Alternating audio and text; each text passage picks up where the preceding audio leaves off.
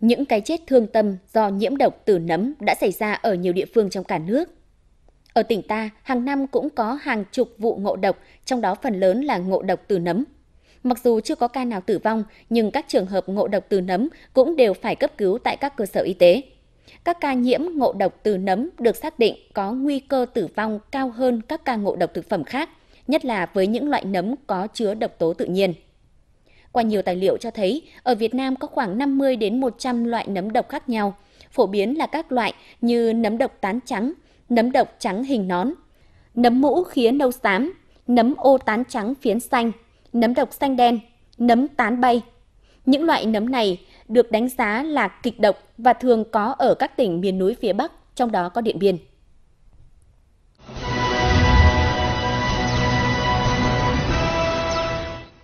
Vâng thưa quý vị, đã gọi là nấm độc thì cái sự nguy hại của nó là khó lường.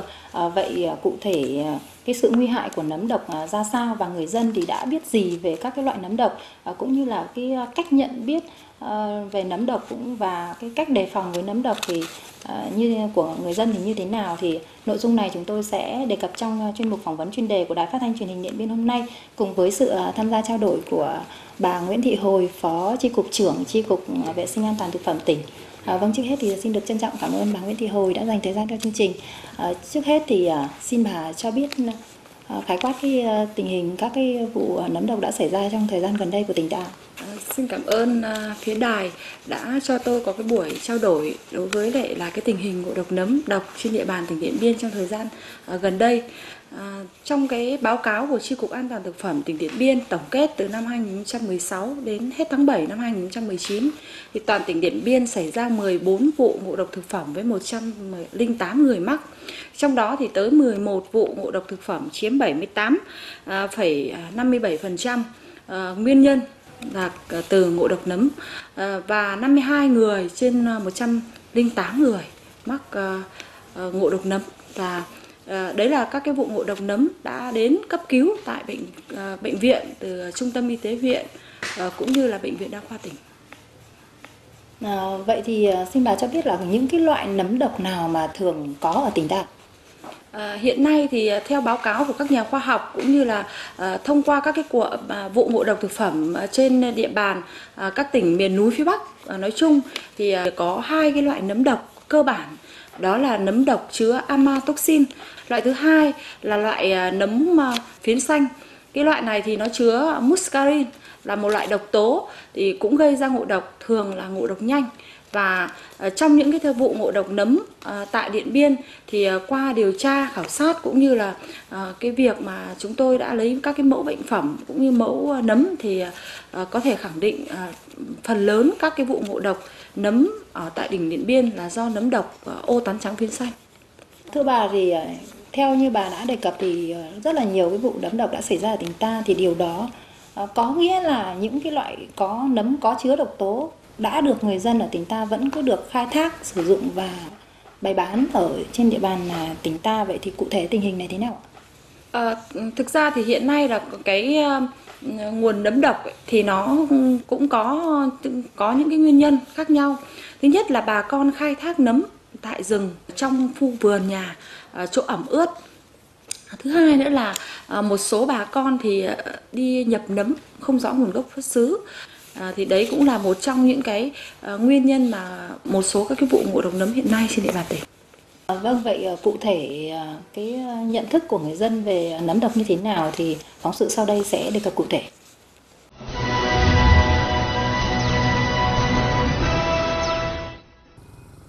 Theo xác định từ các cơ quan chức năng trong số các ca ngộ độc thực phẩm trong toàn tỉnh xảy ra hàng năm thì phần lớn là nhiễm độc từ nấm.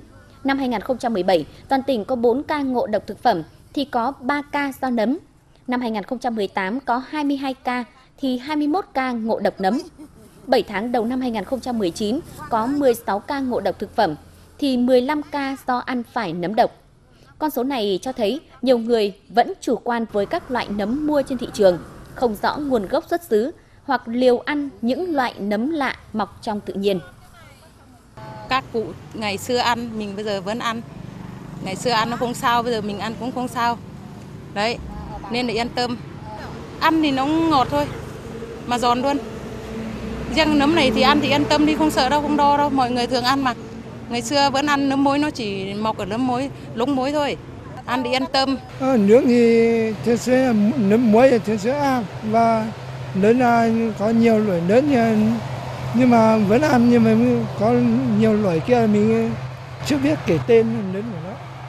À, những loại nó gần như à, nấm muối. Và có loại thì nó khác nhau không những những loại nấm mà mình chưa ăn bao giờ mình không lấy hầu hết các trường hợp ăn nấm rừng đều cho rằng phải biết loại nấm nào ăn được mới lấy hoặc mua về ăn.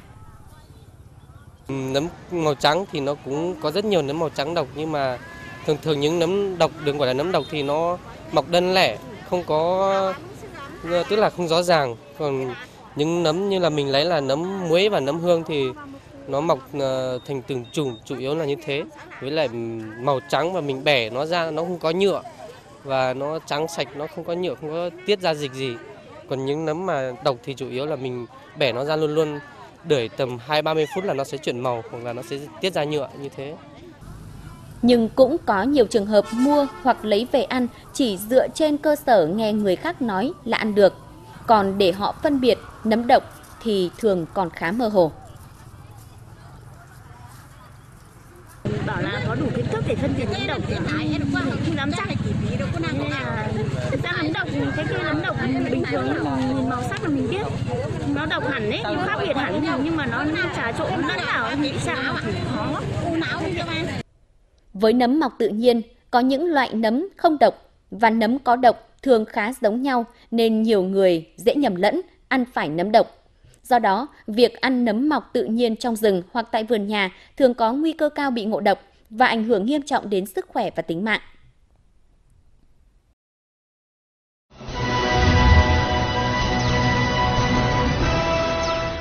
Vâng thưa bà Nguyễn Thị Hồi, à, vậy là qua phóng sự vừa rồi thì cũng đã cho thấy là à, một số người dân thì cũng đã có cái nhận biết khá là à, rõ về cái việc mà phân biệt nấm độc tuy nhiên thì cũng có người vẫn còn mơ hồ à, vậy thì à, làm thế nào để người dân có thể à, phân biệt chính xác à, nấm độc và nấm lành nhất là à, với những cái loại nấm mà tự mọc ở vườn rừng À, cái cách à, phân biệt à, nấm độc và nấm mà ăn được nó cũng khá đơn giản thôi.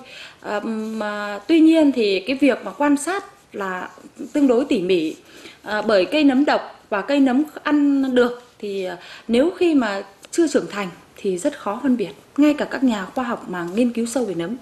À, tuy nhiên thì khi phân biệt được thì cái cây nấm nó đã phát triển thành cây nấm trưởng thành à, gồm có đầy đủ à, mũ nấm phiến nấm thân nấm gốc nếm. Thì à, việc phân biệt là cây nấm không độc thì không có vòng cuống tức là ở ngay dưới à, phiến nấm. Thứ hai là không có bao gốc ở dưới à, cùng của cây nấm. Đó là hai cái đặc điểm là cơ bản. Vâng thưa quý vị và các bạn à, Ừ, mặc dù là cái việc mà phân biệt nấm độc và nấm lành thì cũng không quá khó, tuy nhiên thì chỉ cần một chút chủ quan hoặc là quá tự tin vào những cái kinh nghiệm mà phân biệt nấm độc à, theo cái à, truyền thống thì à, cũng sẽ dễ dẫn đến những cái ca ngộ độc. Và trường hợp mà ngay sau đây là một ví dụ.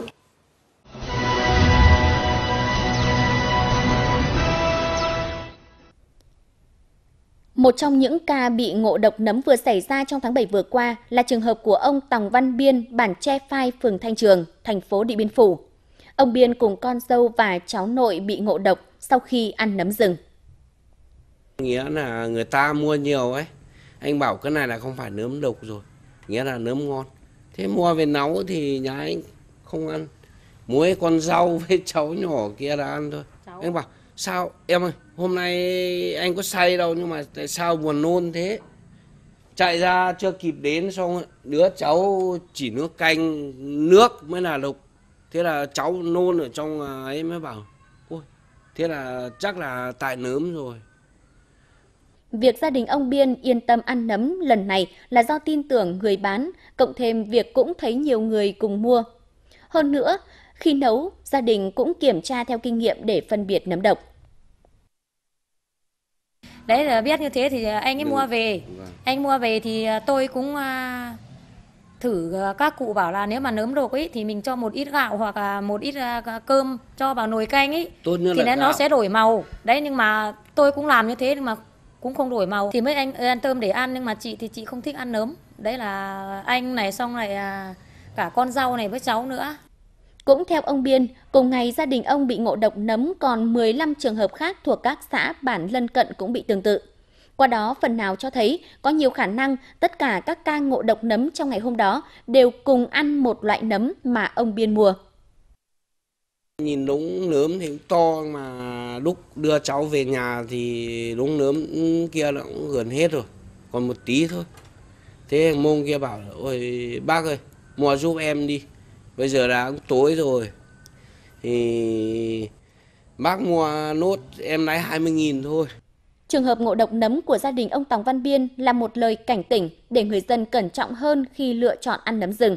Đồng thời ít nhiều khẳng định thêm rằng việc ăn nấm rừng luôn có nguy cơ bị ngộ độc, bởi việc phân biệt nấm độc và nấm lành thông qua đặc điểm bề ngoài là rất khó do chúng tương đối giống nhau.